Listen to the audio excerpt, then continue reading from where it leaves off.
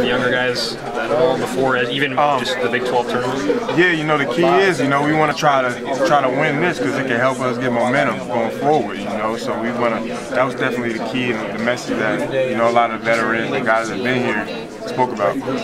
And mentally, how different is it for you this time of year as opposed to last year? Because last year you had the injury, yeah. and now you're completely healthy. Um, you know, it's, it's, it's different. You know, not worried about the, the uh, leg injury now. Um, bodies feel great, you know, and just going out there having fun and competing, you know, and that's that's when it's the best. What was it like seeing Carlton come off the bench and do what he did today? Oh, it was it was great. You know, he's been doing so well in practice, having a positive mindset, you know, and, and that's what happens when you when you do that. How would you uh, rate the level of communication you guys have on defense? You guys talkative defense right now? Yeah, yeah, we're definitely talking a lot on defense. There's still things we can get better at. You know, we we still can just just learn from little things. You know, but I mean, overall, we're talking so much better than we were you know, earlier in the season. It seems like the shooting is infectious too. I mean, when you guys get on a run, I mean, it's like three after three after three. You feel like guys start to feed off of one another. I believe so. You know, uh, and I feel like we're sharing the ball so much better to where it's giving everybody confidence. And I feel like we, if we keep moving the ball how we're doing, we'll, we'll be all right. You feel like that's, a, I mean, it's gotten better as the season's gone on, the, the level of sharing the ball. Yes, yes, definitely. Uh, just trusting each other is a key thing, you know, and, and we're trusting each other as a team. What about the younger guys? It seems like some of the younger guys too.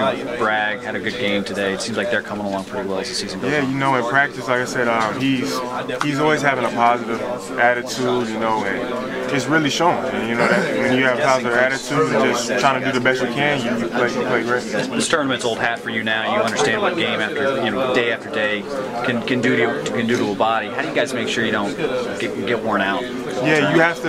We have to make sure we're, we're eating right, getting our sleep, and uh, a lot of lot of fluids, and just just having a being mentally strong. You know, just thinking back from earlier this season while we do boot camp and stuff. You know, just give you a mindset of, that you can fight through it. Do you feel like you had to expend a lot of energy in this game today?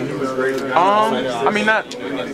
I mean just like like any game, you know. I mean, I, I feel like we got a little, we got some subs and stuff late in the game, which which can help, you know. But I mean, overall, I mean, it's like any other any other games. My legs. Yeah, it's always. You were asked about how the team's talking, and communicating on defense. I saw you back there, really talking a lot. Uh, do you see because you're kind of in the front court, so you're the last line of defense? Like, do you see it as your responsibility to talk? Right, right. Yeah, just just like being behind, you know, the guards and stuff. Yeah. You really, you really get a great view of, you know, like the back screens and just where his man is, just trying to tell him so he doesn't see because he could be ball watching or something and trying to just let him know where his man is, which which helps, you know. We still got little things we can get better at, but overall we're talking pretty well. Yeah.